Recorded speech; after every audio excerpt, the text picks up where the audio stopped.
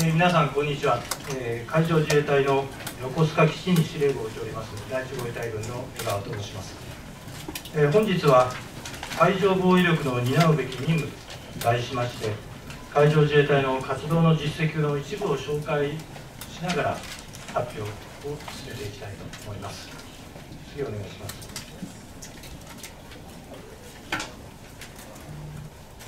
はじめに海上交通路についてお話ししたいと思います。まずこのスクリーンをご覧ください。大陸と大陸を結ぶ赤や黄色の線が船の通り道すなわち海上交通路であります。このように、えー、俯瞰すればですね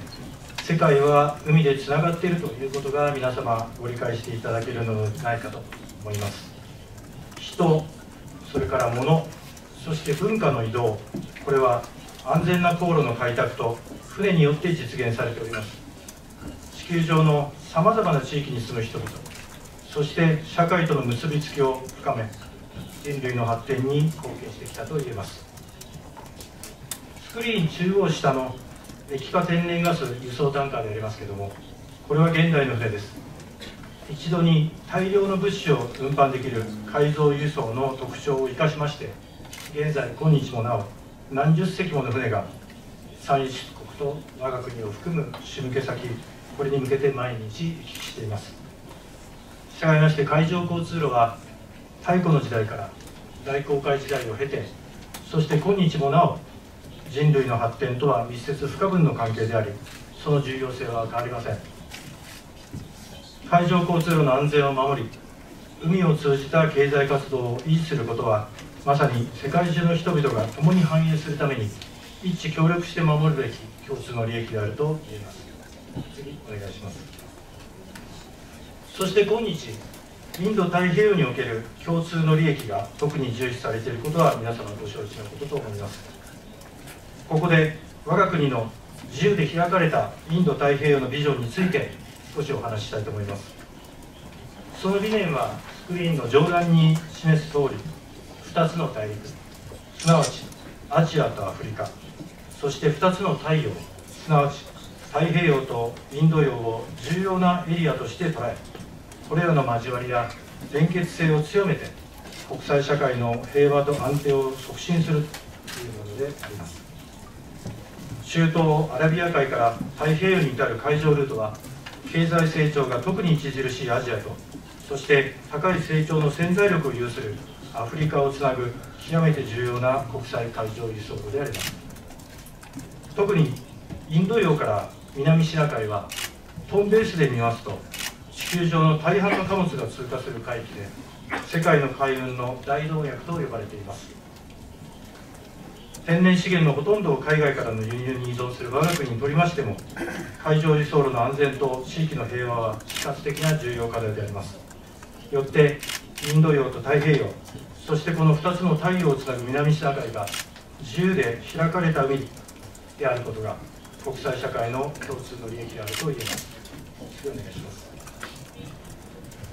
またインド太平洋は海上貿易のみならず情報経路としての海としても大変重要であります。スクリーンは中東アフリカ地域から太平洋に至る海底ケーブルの敷設状況です。私たちが日々使っているインターネットのデータの約99%はこの海底ケーブルを通して伝送されています。情報社会となった今日の世界は海底でもつながっていることがお分かりいただけるのではないかと思います。国際社会の平和と安定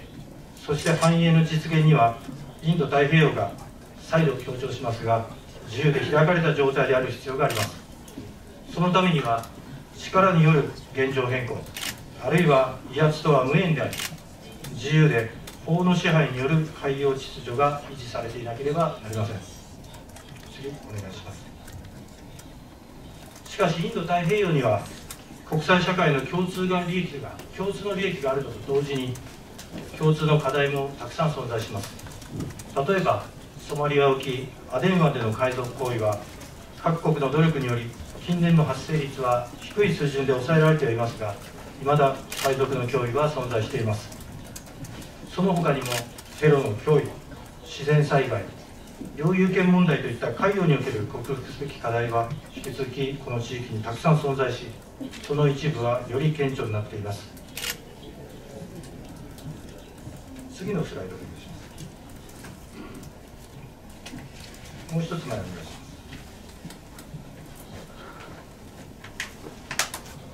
もう一つ。はいこれです。また我が国に目を向けていただきますと周囲を海に囲まれる我が国周辺の安全環境安全環境状態も例外ではありません。極めて速いスピードで変化し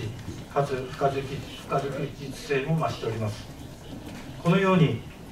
極めて広い広大なエリアに存在する多種多様な問題を一国で解決することなどは到底不可能です。従いまして我が国は自由で開かれたインド太平洋の実現のため他国との協力関係を一層強化しなければならないと考えております。次のページここからは我が国が推進する自由で開かれたインド太平洋の実現のため海上自衛隊が行っているさまざまな活動の一端を紹介したいと思います。第1は積極的な機構。第2はパートナー国海軍との共同活動であります。法の支配による自由で安全でかつ秩序ある海洋の利用を維持するためには価値観を共有する国々との協力が鍵となります。私たち海上自衛隊の強みである公の海いわゆる航海での活動の自由や海からのアクセスを最大限活用し外交の側面も併せ持つ艦艇の機構や外国海軍との連携の強化を推進して国際社会共通の利益の追求にこれからも貢献していかなければならないと考えています。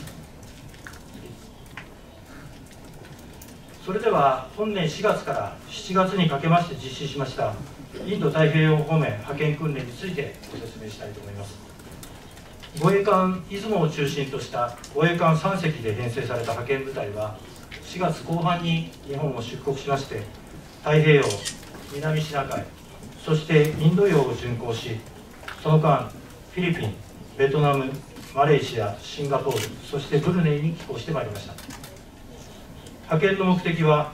インド太平洋地域の各国海軍等との共同訓練等を実施し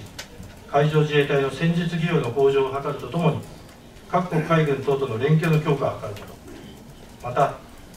訓練を通じて地域の平和と安定への寄与を図るとともに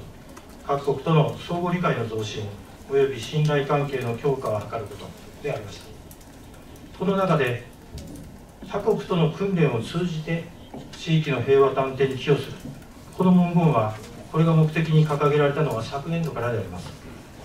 海上自衛隊にとって新たな取り組みでありまた画期的なことでもありました。次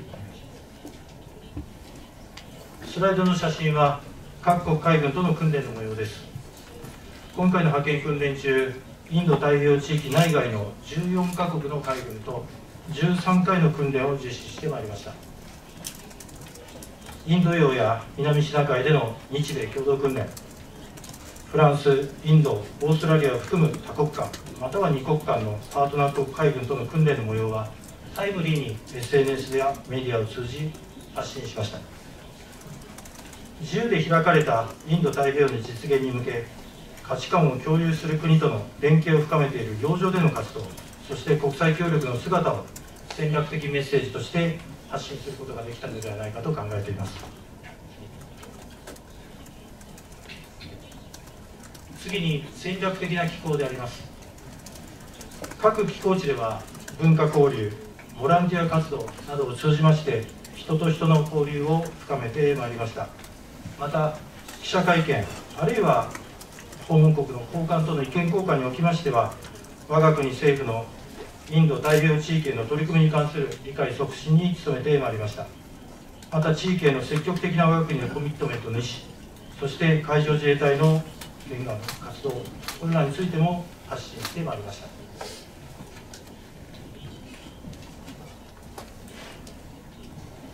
最後に域内パートナー国への能力構築支援いわゆるキャパビルであります。今回はマレーシアとフィリピンで人道支援大規模災害への対応いわゆる HADR のセミナーを行ってまいりました。セミナーでは護衛艦出雲の災害対応能力や陸上自衛隊が保有する人命救助システムを紹介したほか海上自衛隊と陸上自衛隊が連携して捜索救難医療処置のデモ展示を行ってきました。自衛隊がこれまで実際の災害派遣活動を通じて蓄積してきた教訓やノウハウをこの両国に提供することによりまして東南アジア地域対応能力の強化にいくばくかも貢献できたんではないかと思っています。終わりに次のスライドお願いします。終わりに国際情勢が常に変化する中海上自衛隊は我が国の平和と安全を守る任務に加えまして政府方針に基づく外国海軍と連携した地域の平和と安定に寄与する幅広い活動を行っております。本日はそうした活動の一部についてお話しさせていただきました。皆様の海上自衛隊に対するご理解の一助となれば大変嬉しく思います。これにて発表を終わりたいと思います。ご清聴ありがとうございます